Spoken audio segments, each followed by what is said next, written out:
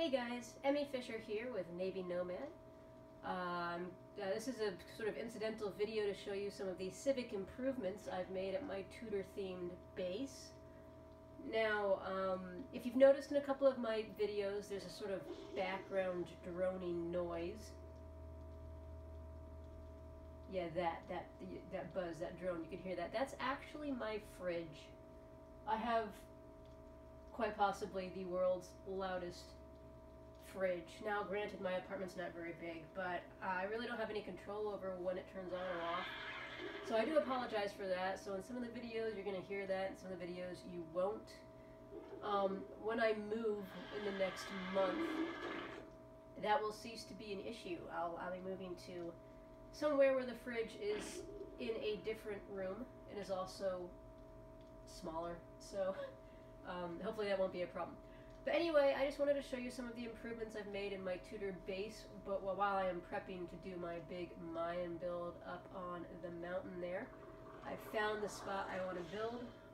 Uh, I really, really like it. It's uh, beautiful, so I hope to get there soonly. It's been a bit rough because Ragnarok Primitive Plus crashes constantly.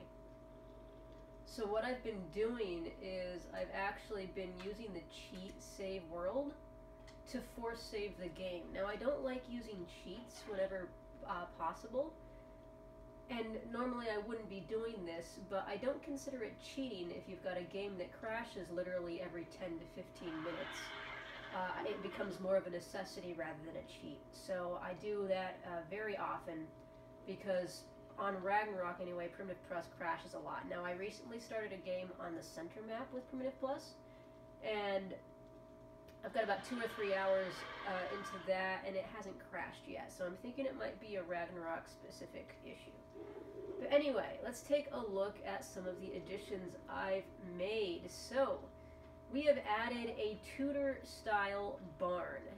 Now, I could have played around with this design a bit. I might have, I, I could have, I suppose, done the overhanging thing, but I really wanted to fit in this door on the side, so the overhanging thing wasn't really going to work with that. But I do have that large gable that sticks up on the top there to give the roof some definition. And because it was six wide, I couldn't have a door in the center, so I like using these double doors to kind of open uh, this up. But basically, this is my uh, barn to protect my tames that I need to be inside a building. I mean, I'm not gonna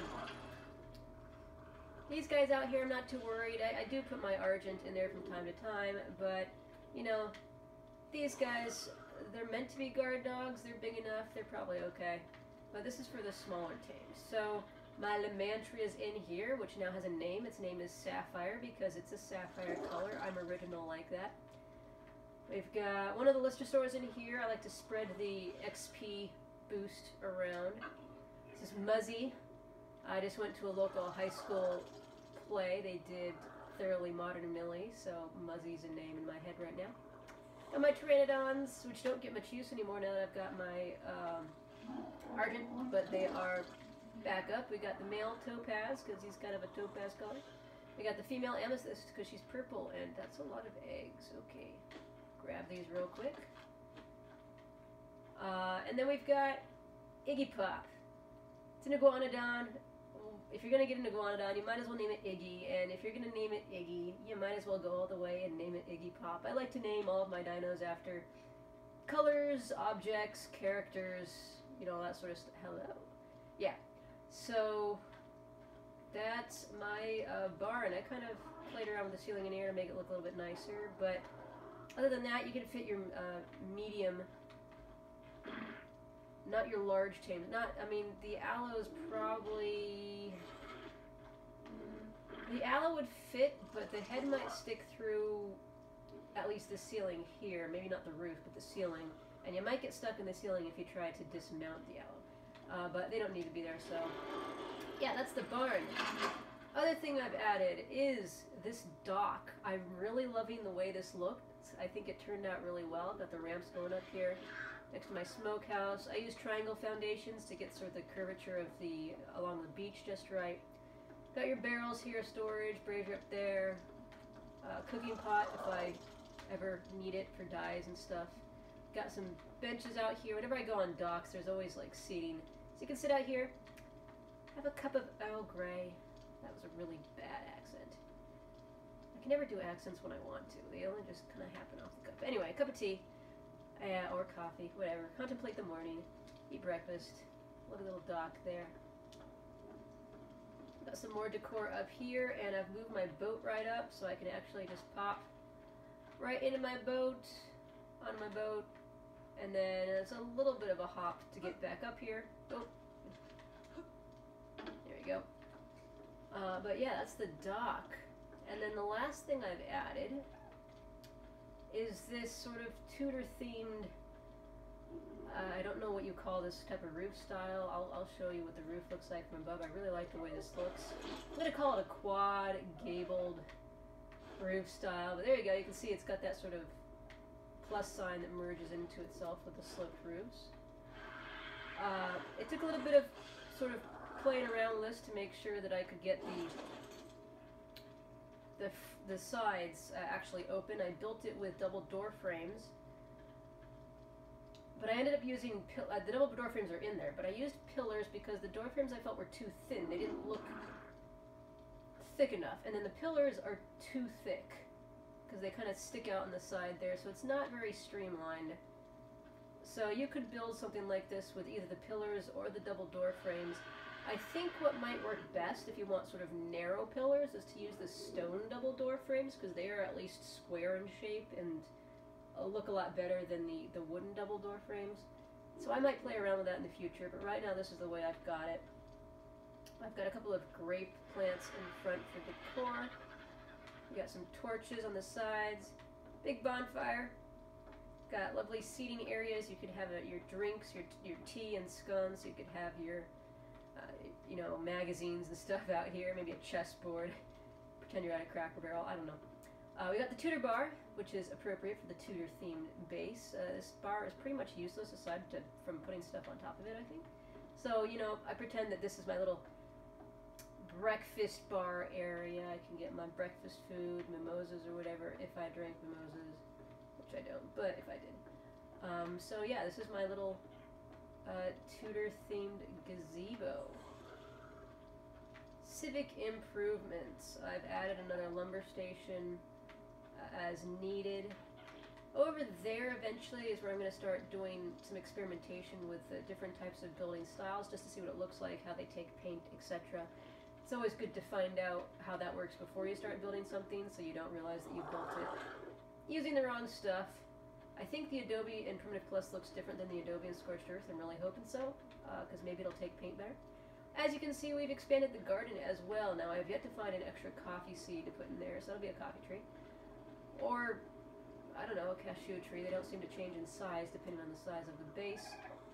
There are berries over there. There's one of all the kinds over here. And then these I expanded for all of the crops that require multiples because they need to be processed. So things like wheat uh, to get, uh, you know, grain flour processed, uh, sugar cane for the juicer, soybeans for uh, soy milk and tofu, you know, coffee, tea, grapes for your drinks, um, a little bit of extra rice so I can make that chicken rice spinach because I forgot to put spinach over on the side. Uh, barley, and then a decent amount of wheat because this is what you use to make flour and a whole bunch of stuff and yeast and all that. And they, they produce stuff really slowly. Now, obviously, if this were in a greenhouse, yeah, this has two in there, and it's been there for a good hour. It's got two two wheat. Um, if this were in a greenhouse, obviously, they're producing a lot faster, but I haven't gotten to a, a point yet where I'm building greenhouses. And they wouldn't necessarily have had greenhouses back in the homesteading period anyway. It's would have been all out in the open. So this is the expansion of the garden. It does have a name. The name is Schmiegel's Garden. Schmiegel is my sister's nickname.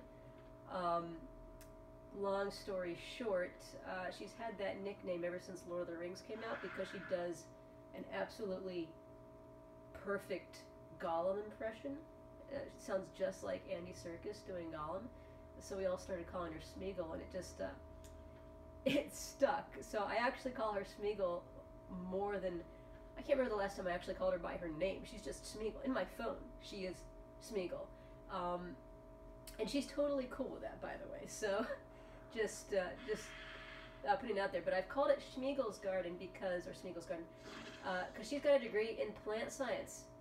Um, she loves plants. She loves gardening. She's got a degree in plant science. She uh, was in a mycology club for the longest time. We both love, uh, you know, cooking and mushrooms and things like that. She also has a degree in culinary arts. So every time I make a garden or a farm, I have to put a sign in her honor and name it Smeagol's Garden because she is the, the green thumb of the family. And she would be very proud, I think, of this uh, farm we've got here.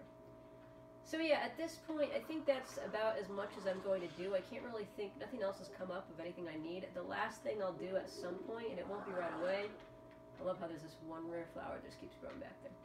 Um, is I'm going to put a well up here on the top of uh, this little hillock here. Uh, you can make wells that stand free from water veins in Primitive Plus, which is really awesome. I, I mean, I like the ones on the water veins, but it's nice that you have ones that you can place. They are fairly expensive, so I haven't got the materials for that yet.